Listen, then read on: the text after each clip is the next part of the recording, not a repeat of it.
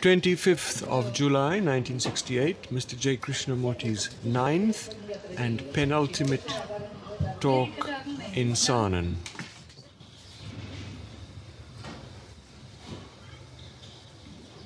As we said, we're going to talk over together a rather complex problem.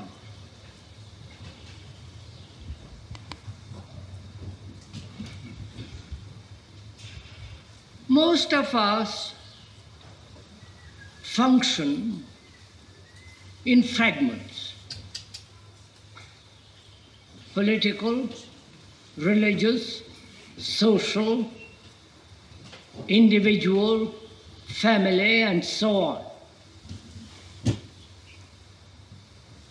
And we don't seem to be able to find out for ourselves an action that will be total, answering all the issues comprehensively, not broken up into fragments. We don't seem to be able to live a total, complete, full life.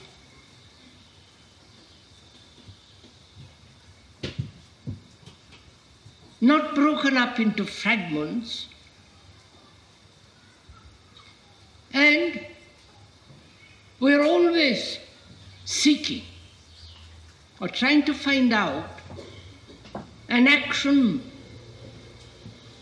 that will somehow bring a total contentment, a total satisfaction in whatever we are doing. Whether we are medical people or politicians or a religious person, it seems almost impossible to find an activity that will answer all these issues without contradiction, without a feeling of insufficiency.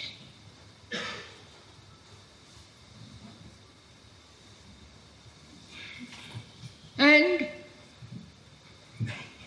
if we can this morning go into a question that may be worthwhile and perhaps will answer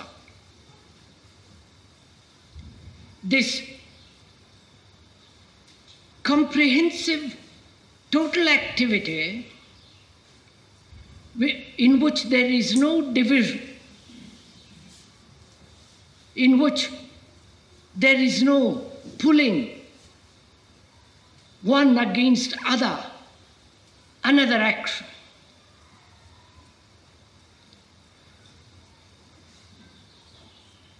As we said the other day,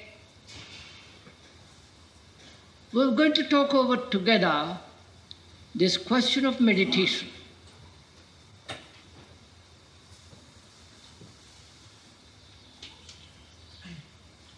Some of you perhaps may think that it is merely an entertaining individual experience to find something that is beyond the measure of the mind.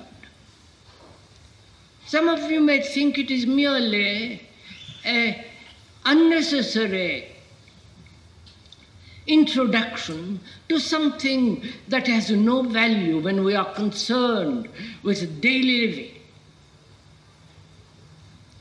And some of you may perhaps have already experimented according to some systems of meditation, both in the Far East and the Near East and the Middle East.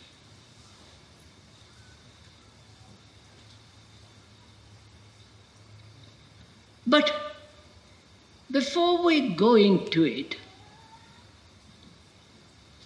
I think we should lay down for clarification certain absolute necessities. First, to be free of all hypocrisy. In which there is no pretension whatsoever. In which there is no double standard of life, double activity. Say one thing, do another, I think totally different thing. So that any form of self deception is utterly ruled out.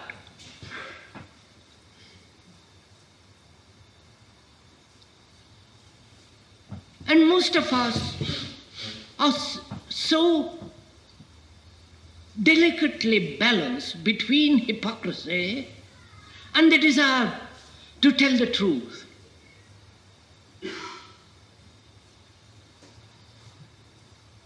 We are so pretentious. Having experienced some footling little vision or an, ex, ex, uh, an emotional state, we think that is the absolute end of everything. So, first, is it possible for a mind for the whole of one's being, in action, in thought, to be completely honest and non hypocritical. Because that is very important. If one is at all hypocritical in any way, then it leads to self deception, illusion.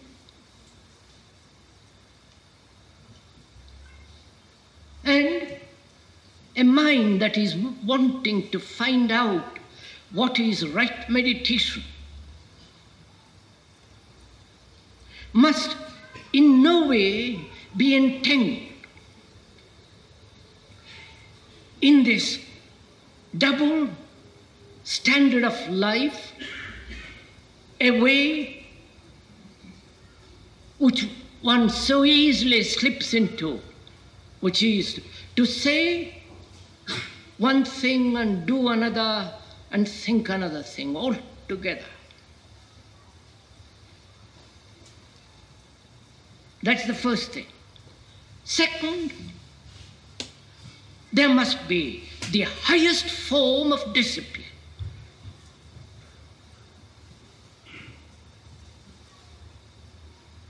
And most of us dislike that word discipline.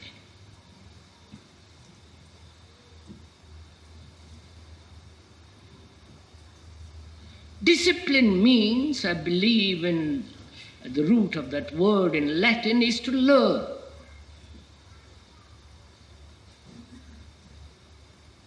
But we have misrepresented or mis interpreted that word to mean conformity,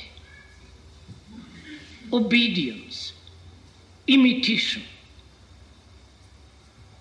in which is involved suppression of one's own eh, desires, ambitions, greed, to conform to a pattern, to a formula, and therefore follow an ideal in which there is always conflict. The what is and what should be. If one pursues what should be, that leads to hypocrisy. And most ideology, ideology, idealists are, if I may put it very gently, have a tinge of hypocrisy. Because they're avoiding what is. And to conform to a pattern of what should be not only leads to conflict, struggle, a dual existence, which inevitably leads to double standards and hypocrisy.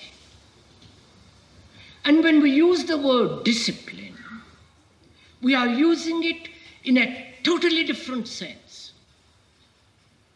We said there must be complete and the highest form of discipline. Without conformity, without suppression, without following an ideology, creating a double dualistic existence. This discipline is not something you impose on yourself. It isn't an external compulsion or an inward demand to conform, to imitate, to follow, to obey, but rather in the very act of the very act of learning about anything is discipline itself. If I want to learn a language, the language demands that I, the mind be disciplined. The very learning implies discipline, in which there is no conflict at all. If you don't want to learn a language, that's the end of it.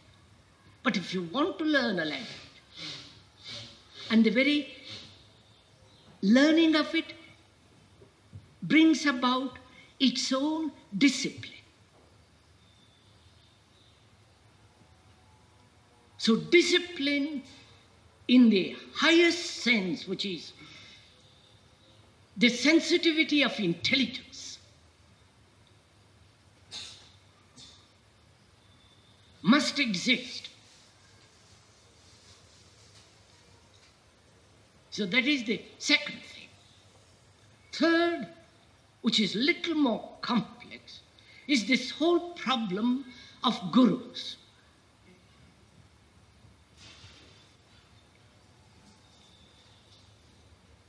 I believe that word in Sanskrit means one who points out.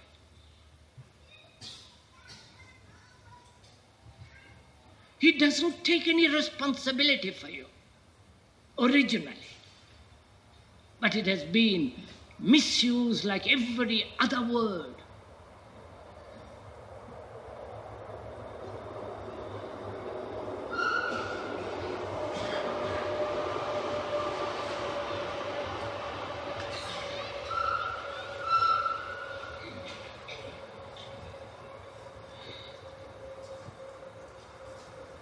The Guru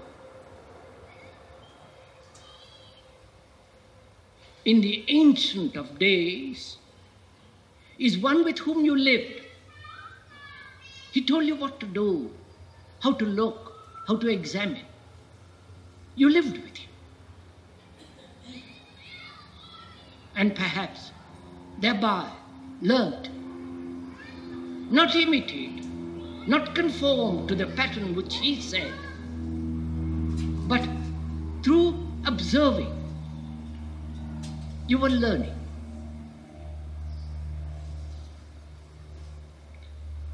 From that grew this whole illusion of Gurudom, gurus. Please, you, one has to under, understand this rather deeply because when we are going to go into this question of meditation, which in itself is very, very complex,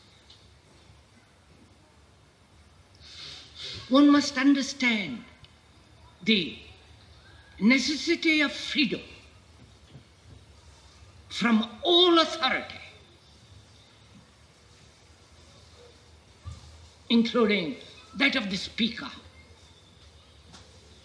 so that the mind, that highest form of supreme intelligence, is a light to itself.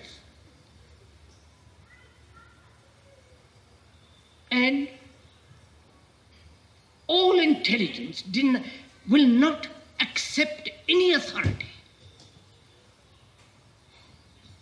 of the Savior, the Master, the Guru, or anybody. Because it has to be, and it is, a light to itself. It may make a mistake. It may suffer, but it is in the very process of suffering, making a mistake, it is learning. And therefore it's becoming a light to itself.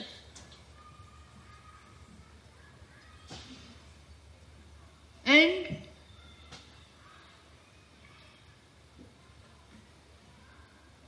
there are so many gurus in the world the hidden ones and the open ones. Each of them promise through a certain system method to arrive at that realization of what truth is. And no system, method, which implies imitation, conformity, following, and thereby fear, has any significance whatsoever for a mind that is inquiring into this whole question, which needs a very delicate, highly sensitive, intelligent mind to inquire into what is meditation.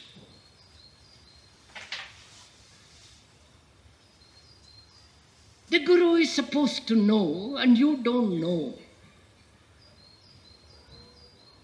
He is far advanced in evolution, and therefore has acquired through many lives, through many experiences, through many through following other superior gurus and so on, has accumulated immense knowledge. And you who are down below, lower down, is gradually going to come to that highest form of knowledge. This whole hierarchical system, which exists not only in society outwardly, in religions, but also inwardly and among the so called gurus is obviously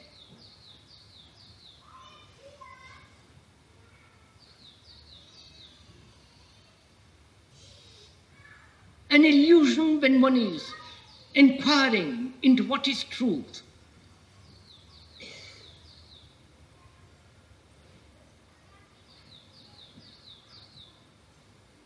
So, knowledge technologically. Hmm? There must be. We can't wipe away all the technological, scientific knowledge that man has accumulated through centuries. That knowledge must exist. And you and I cannot possibly destroy it. There have been saints and all those people said mechanical knowledge is useless and they have their own particular prejudice. And knowledge, apart from technology, of what value has it?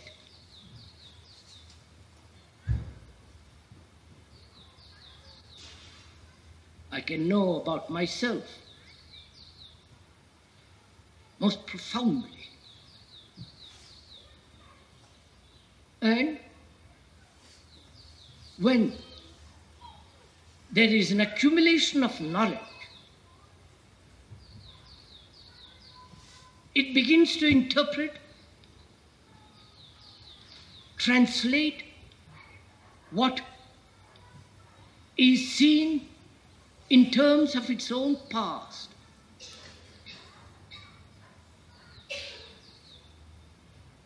As long as there is the burden of knowledge, psychologically, inwardly, there is no free movement.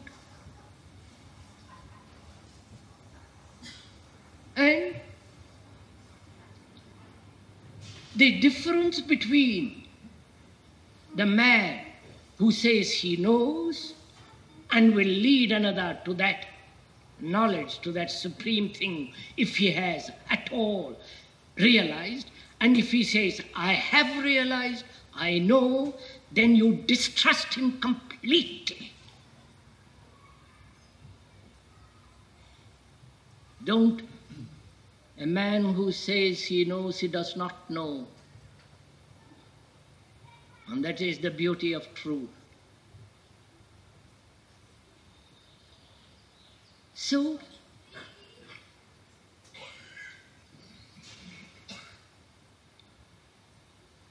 there must be the foundation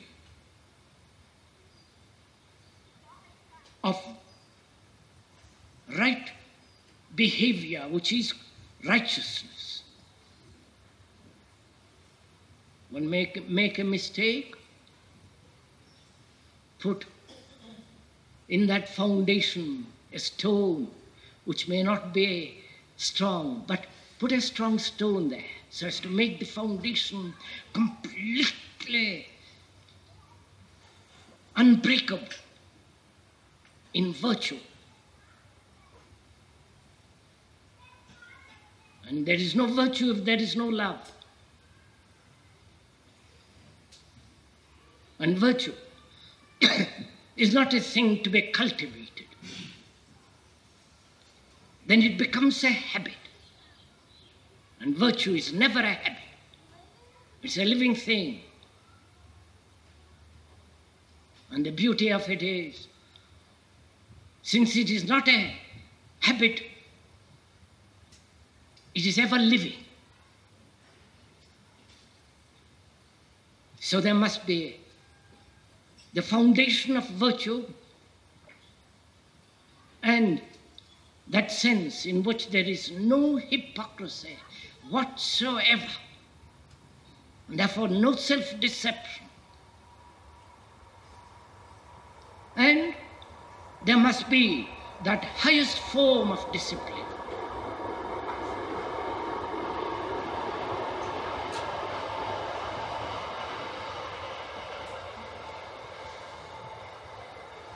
which is a sensitivity of quick quick understanding.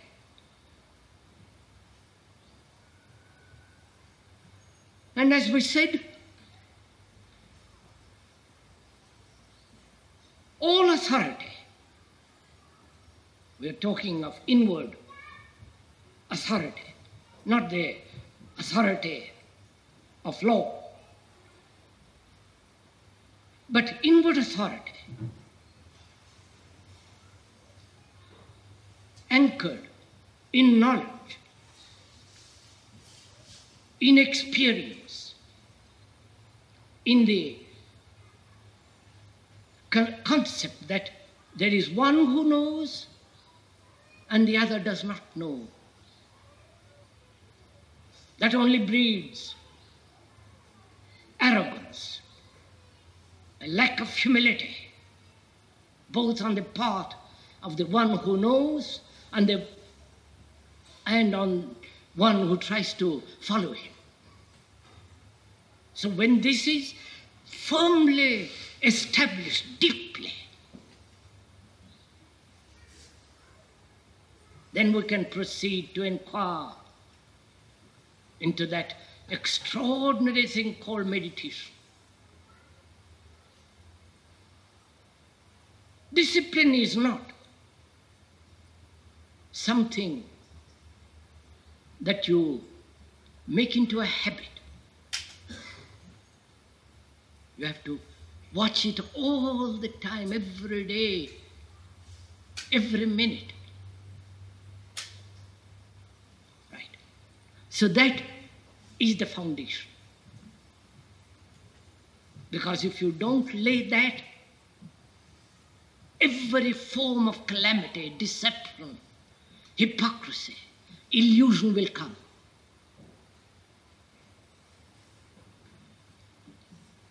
Is that all right now? Shall we proceed?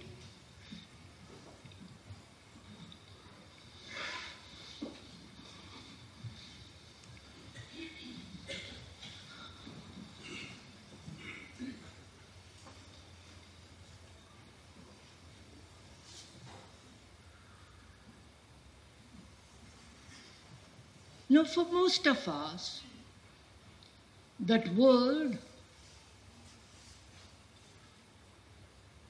has very little meaning.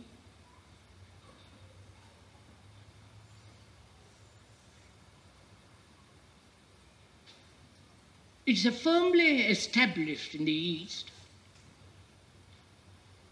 that meditation means certain ways of thinking, concentrating, repetition of words, and following a system. Which all deny the freedom, the quickness of the mind.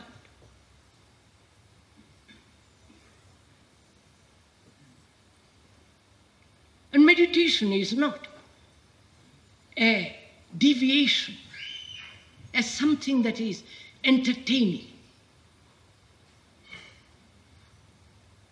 It is part of one's whole life.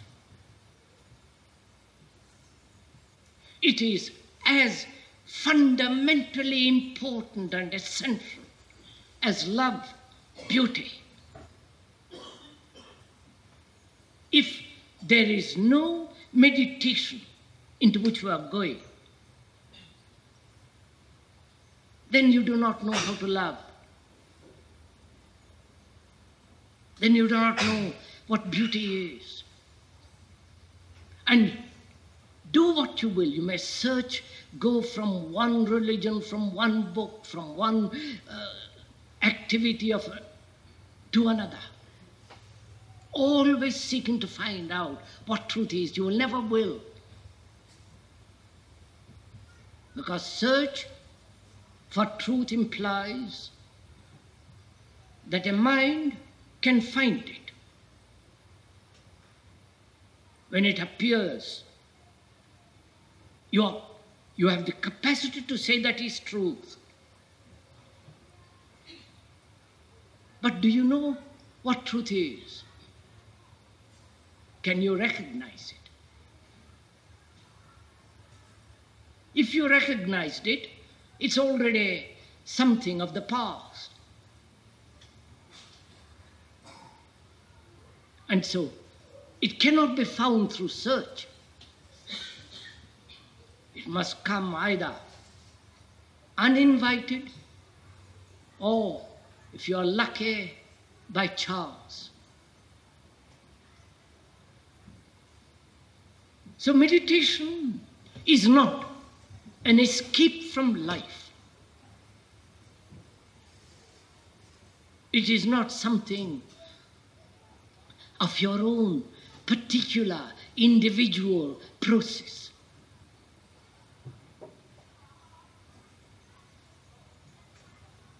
You know, there is no path to truth There isn't your path or my path. There is no Christian way to it or the Hindu way to it. A way implies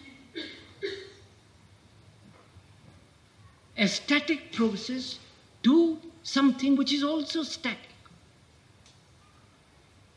I, there is a way from here to that next village. The village is firmly there, rooted in the house, in the buildings, and there is a road to it. But truth is not like that. It's a living thing, a moving thing. And therefore there can be no path to it.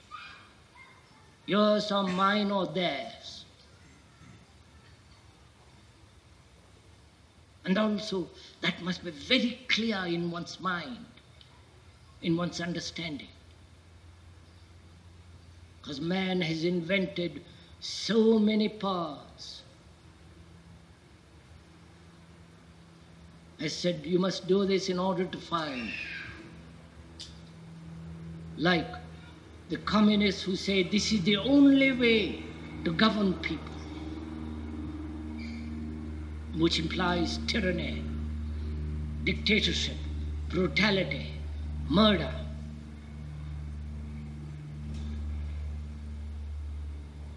And when one has cleared the field, the decks as it were, then one can proceed to find out what is meditation. And it is not a monopoly of the East. You know, that's one of the most monstrous things. Say that there are those who will teach you how to meditate. And that obviously is the, I won't use adjectives.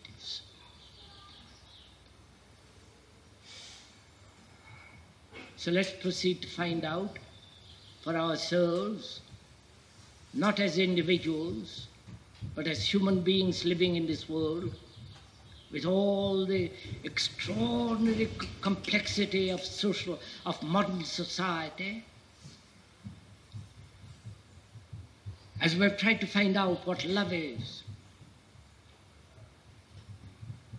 Not find it, be in that state of of affection, of that quality of mind which is not burdened with jealousy, with misery, with conflict, self pity. Then only there is a possibility of living in a different dimension which is love. And uh, as love is of immense importance, so is meditation.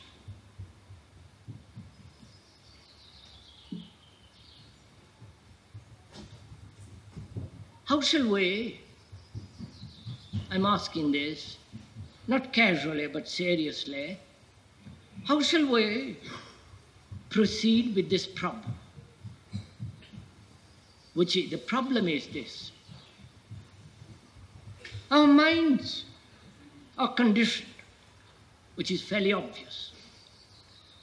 And our minds are everlastingly chattering.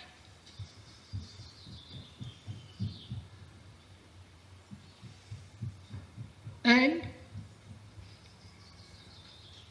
our minds are never quiet.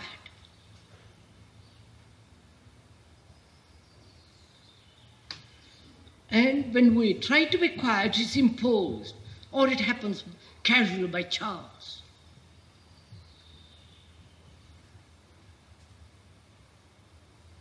To learn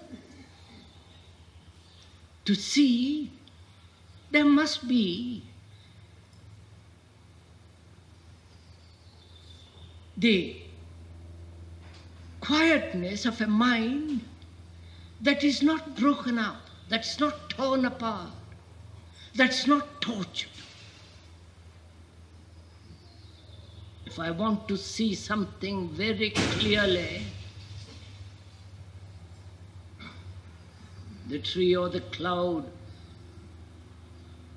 or the face of a person next to me to see very clearly without any distortion. the mind must not be chattering, obviously. Mind must be very quiet to observe, to see.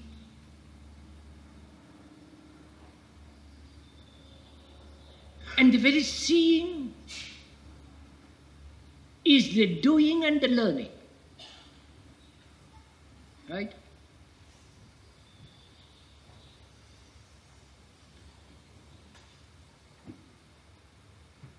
So, what is meditation?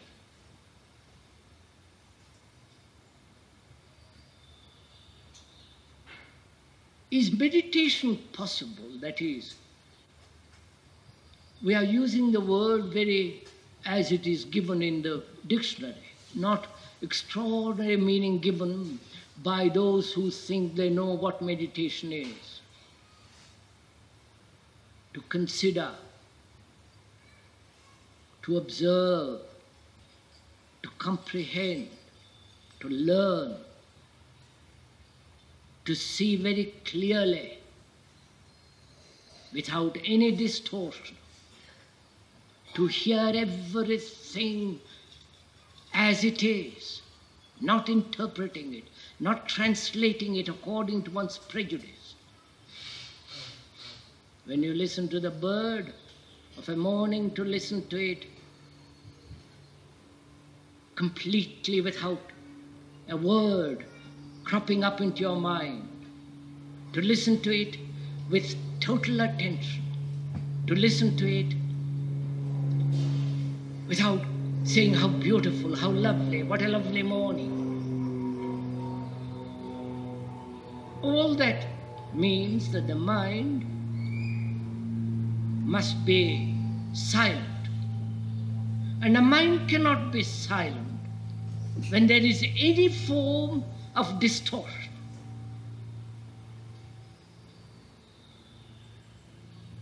That's why one must understand every form of conflict between the individual and society, between the individual and, and the neighbor, between himself, his wife, his children, her husband, and so on. Any form of conflict at any level.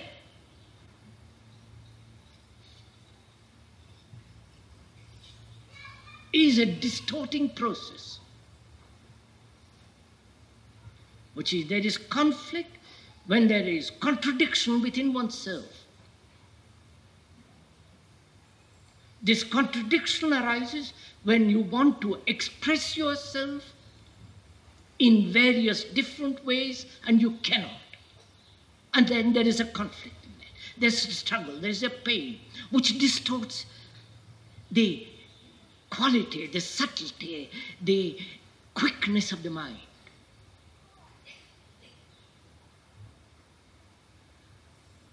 And so, meditation is the understanding of the nature of life with its dual activity its conflict and understand it, see the true significance of the truth of it, so that the mind, though it has been conditioned for thousands of years to live in conflict, to struggle, to battle, becomes clear without any distortion.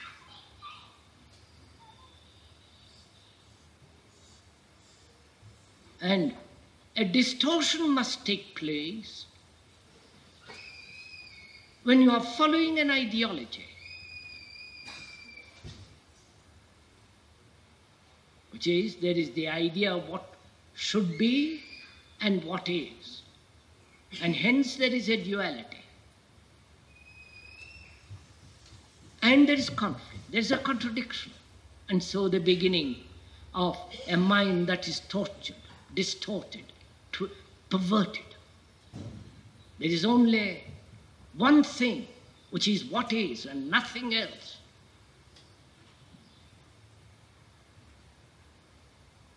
And so, be to be completely concerned with what is, puts away every form of duality. And hence there is no conflict. And therefore there is no a tortured mind. So meditation is a mind that sees actually what is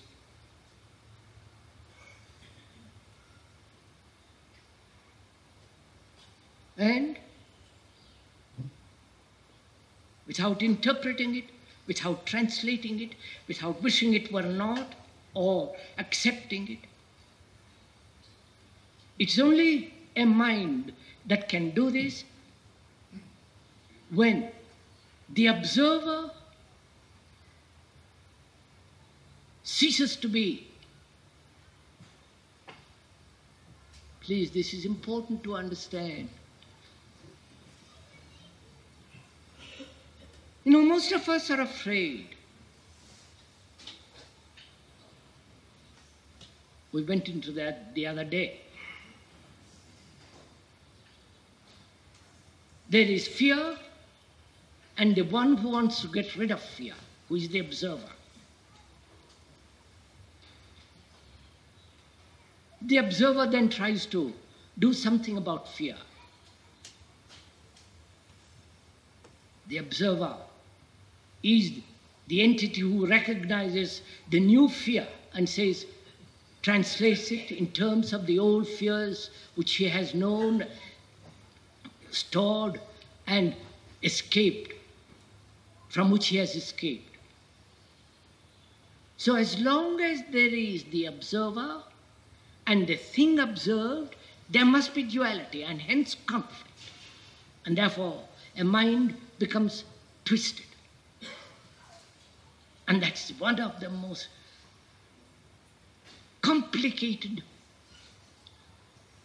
states. A, a thing which we must understand. As long as there is the observer, there must be conflict of duality.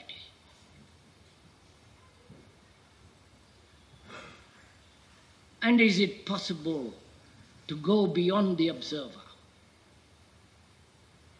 The observer being the whole accumulation of the past, the me, the mind, the ego,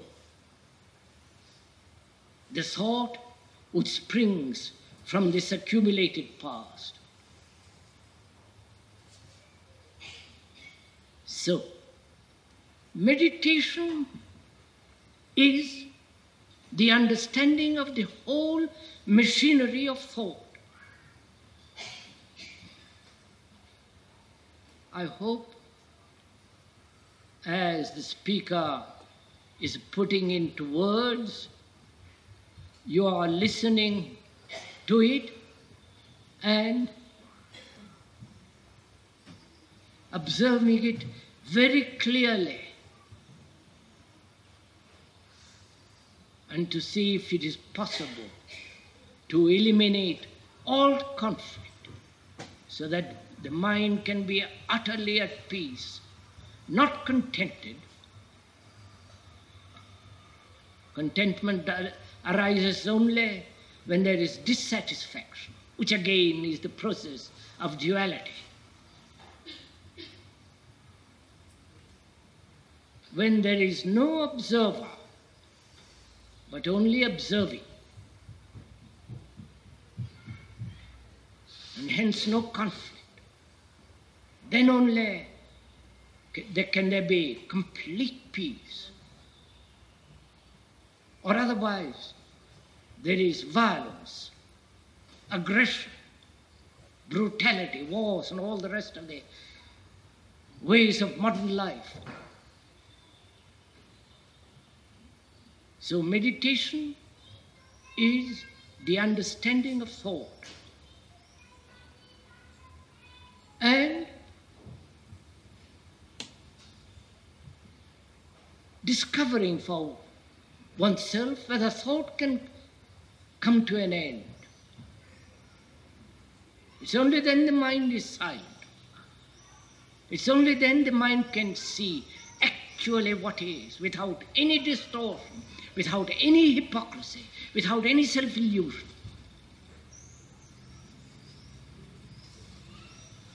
And there are those systems, gurus and so on, who say to end thought,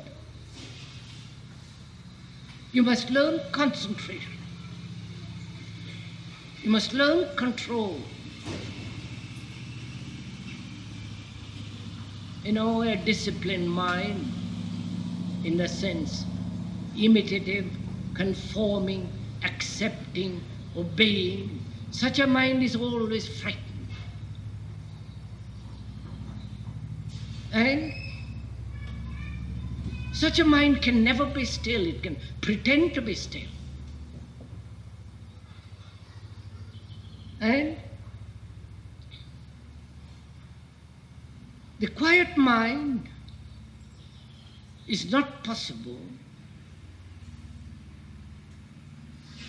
through any drug, through repetition of words. You can reduce it to dullness, but it's not quiet.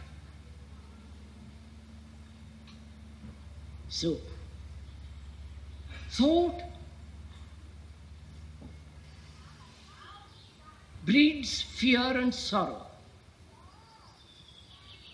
which we went into the other day.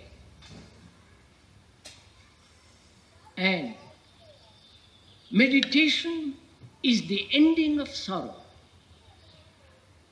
in daily life. When you are married,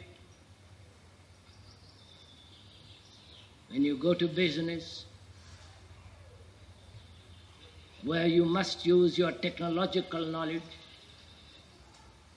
But when that knowledge is used for psychological purposes, to become more uh, powerful, occupy a position that gives you prestige, position, honor, fame. Such a mind not only breeds antagonism, hatred, but such a mind can never possibly understand what truth is. So, meditation is the understanding of the way of life, the understanding of sorrow the understanding of fear, and going beyond them. To go beyond them is not to intellectually grasp the significance or the rational process of sorrow or fear, but to go beyond it. And to go beyond it is to observe it, to see it as it is, and to see it very clearly. The observer must come to an end. So, meditation is the way of life, not an escape from life. meditation, obviously, is not the experiencing of visions or seeing some, having some strange, mystical uh, experiences. You know, you can take a, a drug that will expand your mind. Chemically, it will produce certain reactions which will make the mind highly sensitive. And in that sensitive state, you have, you see things according to your conditioning.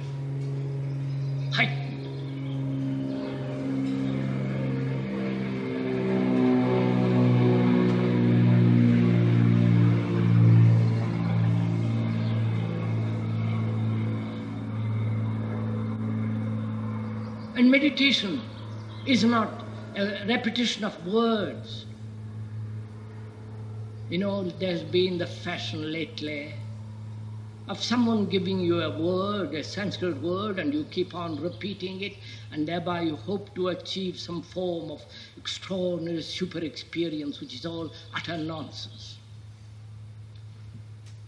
Of course, if you keep on repeating a lot of words, your mind is made quiet and therefore made dull. But that's not meditation at all. Meditation is constant understanding of the way of living, the way of life. Therefore, meditation is not an escape. It's a, it is the understanding of life every minute. And to understand that, the mind must be extraordinarily alive, alert, not burdened by any fear, any hope, any ideology, any sorrow. And if we can go together that far, and I hope some of us have been able to go actually, not theoretically, that far, then we enter into something quite different.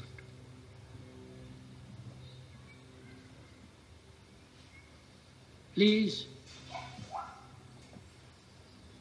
without, as we said at the beginning, without laying the foundation of this understanding in daily life, the daily life of loneliness, of boredom, of excitement, of sexual pleasures, of the demand to fulfill, to express oneself, of this conflict between hate and love, life in which one demands this, to be loved, a life of deep inward loneliness.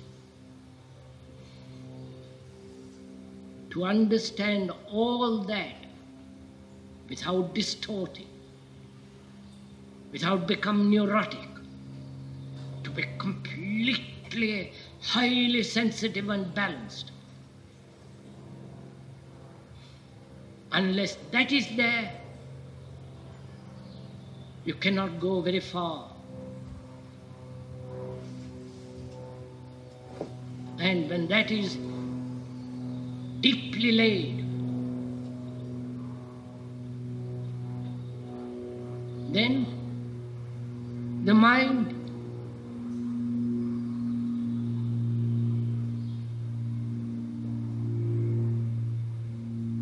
is capable of being completely quiet, therefore completely at peace, which is it's entirely different from being contented like a cow.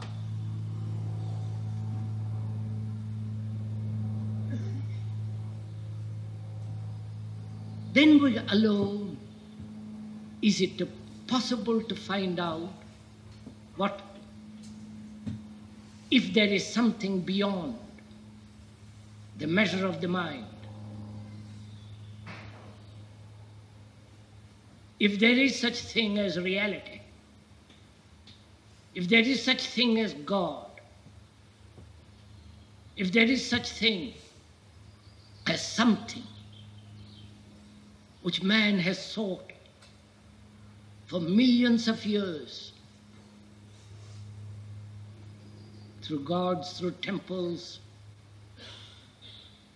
through sacrificing oneself, by becoming hermits and all the absurdities and inventions that man has gone through.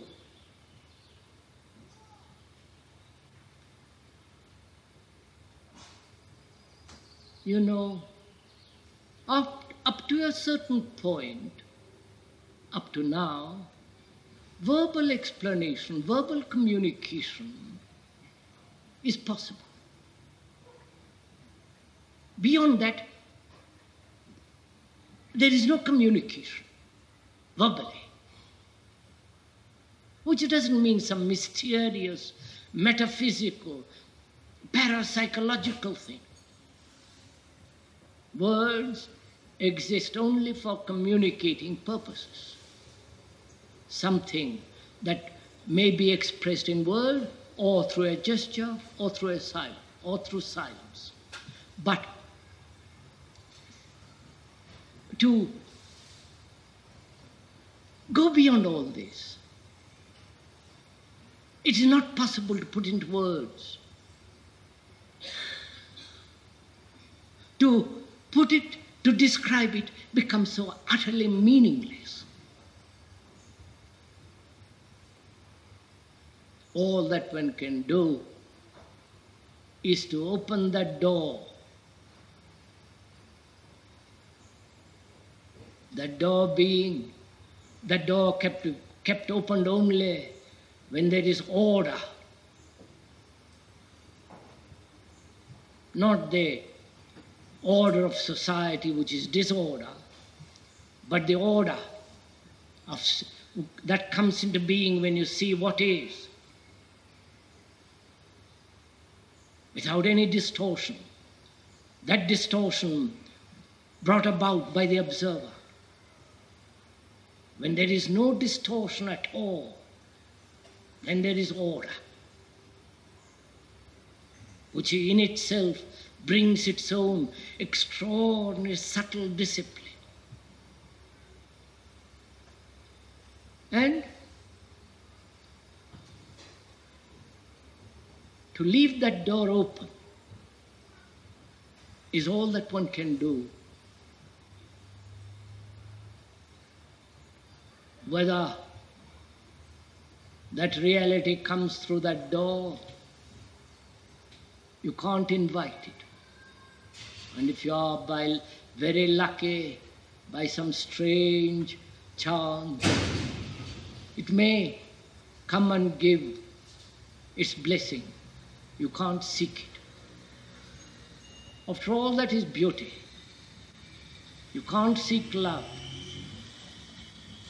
If you seek it, it becomes merely the continuation of pleasure.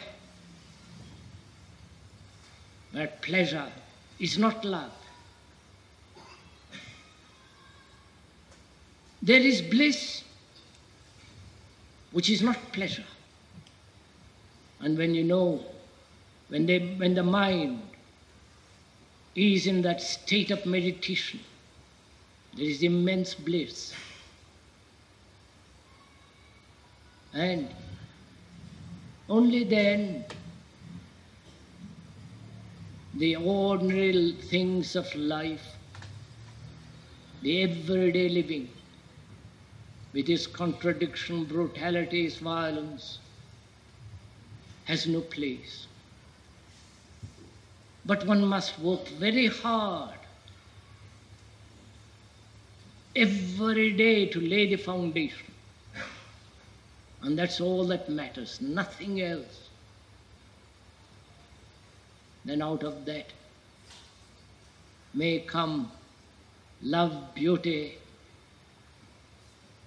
and that silence which is the very nature of a meditative mind.